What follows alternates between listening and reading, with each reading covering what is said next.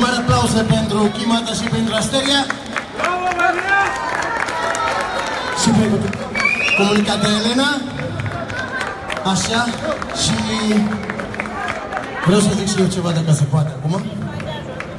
Să trimitem și noi un mesaj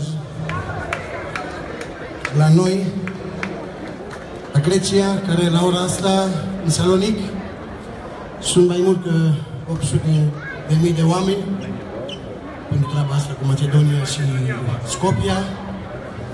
Și vreau să zic că Macedonia e Grecia. Un aplauze pentru ei. Linii Macedonia, mos! Pentru Nichi. Mulțumim frumos!